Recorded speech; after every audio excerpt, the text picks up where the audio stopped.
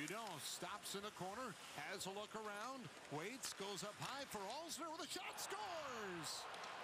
Karl Alzner with a shot that may have been tipped in front of the net by Jeff Petry.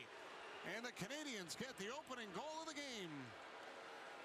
Well, I've been watching Jeff Petry tonight joining the play, and he's been one of the bright lights in terms of a player willing to join the play, and it's his little cut through the seam here. As Charles Hudon goes, watch Petry cut down.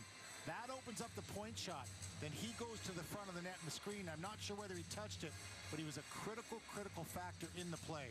Karl Alzner doing a good job of getting the puck through. You can see Petry parked right on Alex Lyon's doorstep.